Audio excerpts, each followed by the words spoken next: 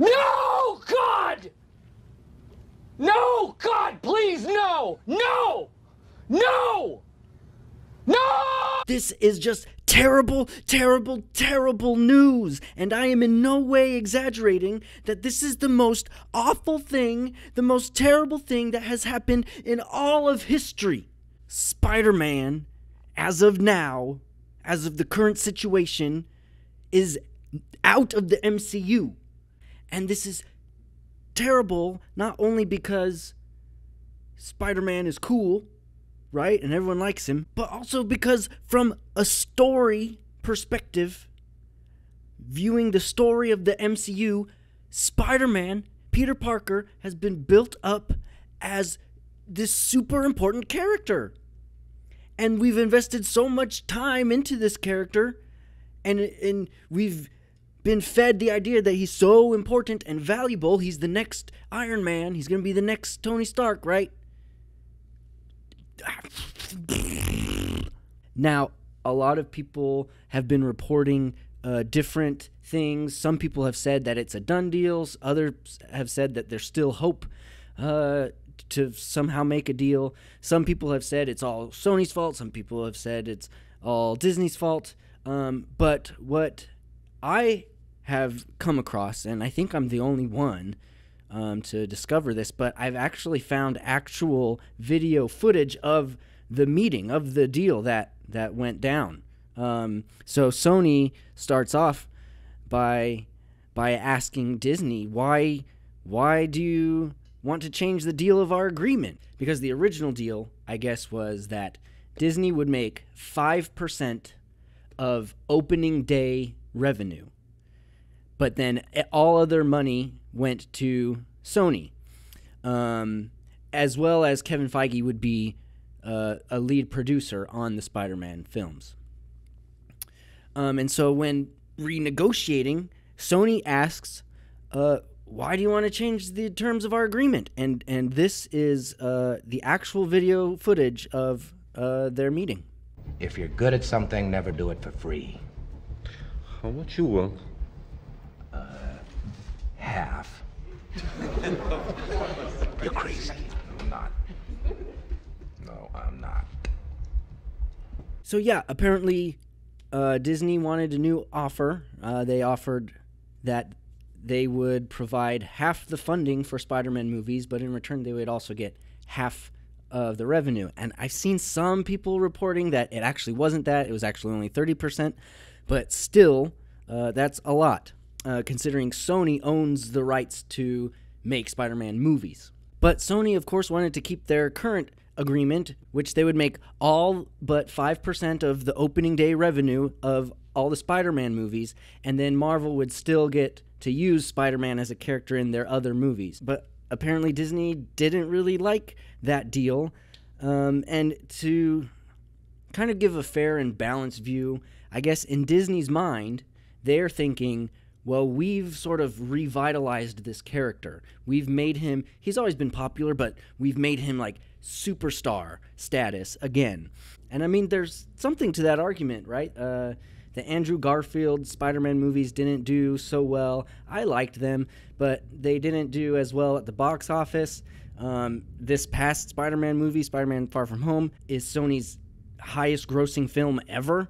So, I mean, there's an argument to be made that, you know, Disney and Kevin Feige, the uh, lead producer of the MCU, there's a good argument to be made that that they're the reason why that was. That they're the reason why Spider-Man has sort of gained this new life. But on Sony's side of the argument, they own the rights and productions to Spider-Man. And why would they bend on their most popular franchise, on their most lucrative uh, IP, right? It doesn't make financial sense for them. And so, from a business perspective, I understand Disney's position. And I also understand Sony's position, right? It doesn't really make a whole lot of sense for Disney to give up their resources if they're not making that much money. And it also doesn't make much sense for Sony to share their most profitable intellectual property. And so I get it, okay? I understand. But but but but but but it's just not. It seems the curse of Spider Man 3 lives on, right? In the original Spider Man trilogy, the first two Spider Man movies were great, and the third one was not so much. In Andrew Garfield's Spider Man trilogy, uh, the, they made two of them, and then they never made the third one. And then in this Spider Man trilogy, Spider Man Homecoming, Spider Man Far From Home, and then Spider Man Homeless. I'm a man without a home. It's not really Spider Man Homeless because he's still with Sony, but it's basically what it is. As a fan of the MCU, it's just so disappointing that the story is just going to end right? And there's not going to be a good conclusion. There's not going to be resolution to any of the problems we've seen Peter Parker go through. There's not going to be, I don't know, there's not going to be any payoff for all this time that we've invested as fans of these movies, right? And so it's just going to be really lame. And of course, like, we'll survive, right? It's all make believe anyway. But it's just super disappointing, in my opinion. And I know that other people, there's a good chunk of people that don't particularly like the MCU's version of Spider Man. They think that he's too dependent on Tony Stark and that Marvel kind of has forgotten about Uncle Ben. And, and I appreciate that. I, I appreciate them wanting, you know, more of a true to the comics version of Peter Parker. Um, I personally have loved the MCU Spider Man. I think Tom Holland does an awesome job. I think he's my favorite Spider Man. And I'm just super sad, you know? If if nothing is worked out, it's just going to be a huge bummer and it's just going to be really lame and stupid that they're not going to carry on with this part of the story, this story in the MCU. And not only that, but Sony still has plans to make Spider-Man movies with Tom Holland. And so their Spider Man movies, if they can't reference the MCU at all, are going to be really lame as well. And so it's just, from a story perspective, it's a lose lose situation.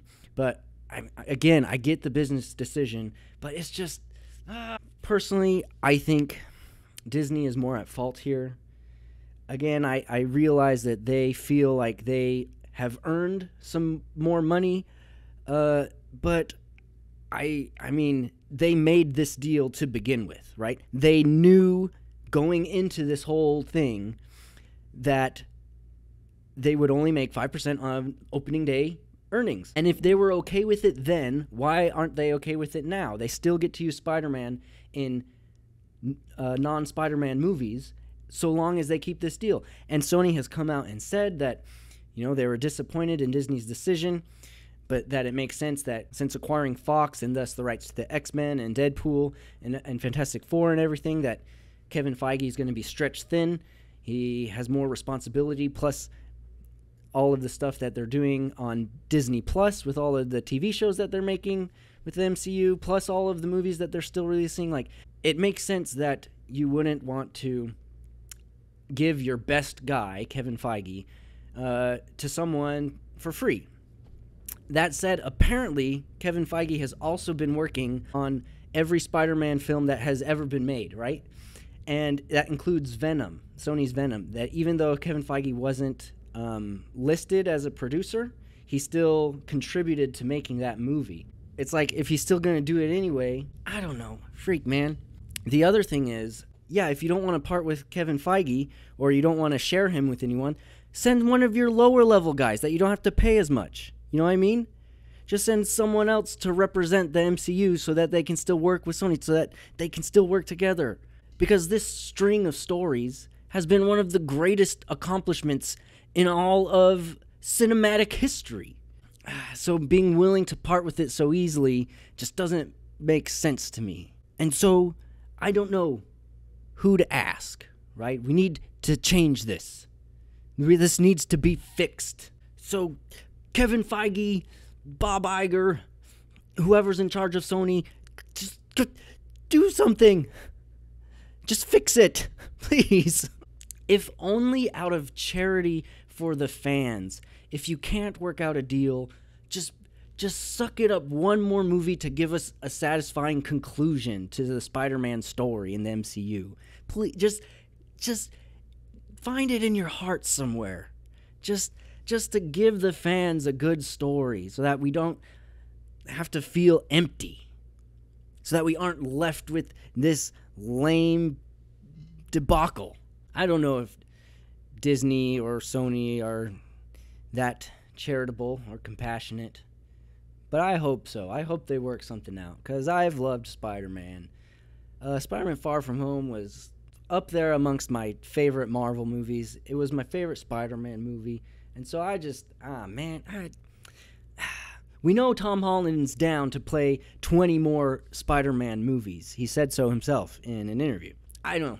I just hope they work something out. Uh, what do you guys think? Uh, let me know what your thoughts are. Do you even care? I feel like the average person doesn't really care that much, but I don't know. It's it's just going to be a huge bummer to me. So, uh, anyway, I suppose life will go on, but I hope they work something out.